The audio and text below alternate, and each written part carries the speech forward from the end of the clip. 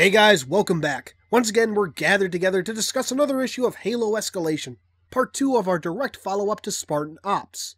Our story picks up where we left off, with Infinity unable to make a slipspace jump and a potential source of interference identified on a nearby planet. The planet, being called Aktis 4 since the system has no official designation, is a planet with a vast ocean of opaque foam and apparently perfectly circular islands in the middle of nowhere. Yeah, definitely not suspicious. On the island, Majestic and Palmer experience the expected Covenant resistance. For a moment of usual nitpicking, Palmer refers to a Wraith as a plasma cannon, and the Wraith is facing the wrong direction. Yep. Anyway, local Covenant forces taken care of, Palmer and company stumble upon a Forerunner site, prompting Palmer to request Dr. Glassman's presence.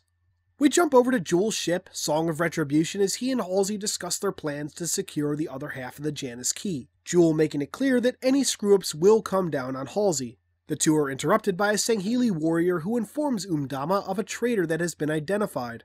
The traitor reveals that he is part of a group that claims 'Mdama is not the true Didact's hand, but that another Sangheili Celine... really? That's the name? Celine Yon? Are you kidding me? Celine Dion? Celine Dion? Is he a Sangheili with the greatest vocals in the galaxy? I'm not the only one laughing at that name, right? anyway, so Celine Dion is the true prophet. And so it would seem we've identified the true villain of the story arc, or so I believe. There's a simple truth with these comics, and it's sad that it's taken me this long to realize it nothing really happens. Sure, we get some interesting stories, but the grand story of the Reclaimer saga is basically on hold until Halo 5 Guardians comes out. I should also take a moment to address a long standing art error in these comics. Why the hell do these artists keep drawing the Sangheili with three fingers and one thumb? They're supposed to have two fingers and two thumbs. It's really fucking simple. Even stranger still is that sometimes they actually do get it right. Seriously, WTF? Anyway, Jul kills the heretic and orders his men to do the same with any other heretics they find. Meanwhile, on Atkis 4, we seem to have stumbled into Spartan Ops. Seriously, you couldn't design something a little more unique? We don't even have the characters remarking about how similar it is to the environments on Requiem. No, no, nothing, nothing. That's it. Fine, fine. So Palmer and Glassman are exploring while Majestic guards the entrance, and inside they find. Oh, are you fucking kidding me? Another Requiem artifact. And again, no response to the similarity? Fucking. God damn it. On board Song of Retribution, the obvious plot twist is revealed. It's a trap set up by Halsey and Jul. To the comic's credit, this plan is a pretty ingenious way to get the key delivered right to them. Given how stupid everyone on Infinity seems to be, of course they deliver the artifact right into Jul and Halsey's hands. Though, in defense of the Infinity crew, none of them are aware of how important the key is or what it does.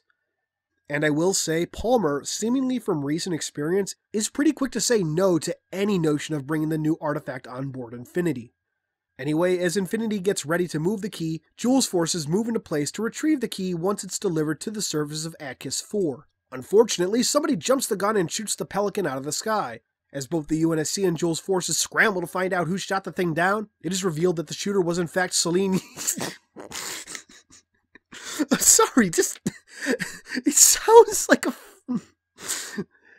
the true shooter was Celine Yon and his splinter group. The comic ends with Celine.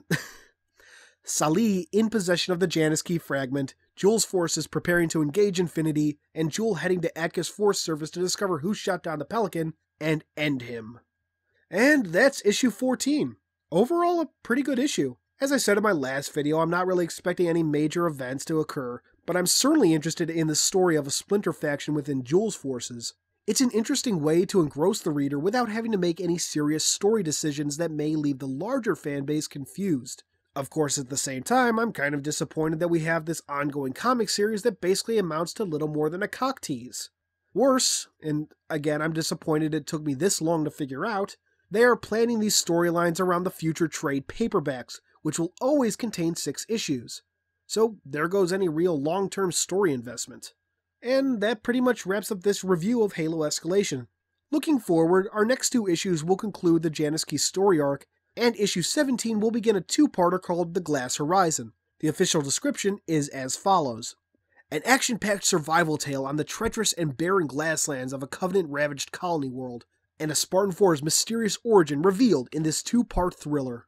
At the risk of setting myself up for disappointment, I don't really want to jump the gun on getting excited. Nevertheless, the idea of looking into a Spartan's mysterious origin is intriguing, especially since all Spartan 4 should, at least for the UNSC, be pretty well documented. Perhaps it's a revelation to the reader. Also of interest is the new Covenant ship design on the cover. There are several ships that we have never seen before that have been mentioned in the fiction, so perhaps one of these ships is something that we've heard of but never seen. Here's hoping. For now, this has been Halo Canon, and I'll see you Spartans and Elites next time.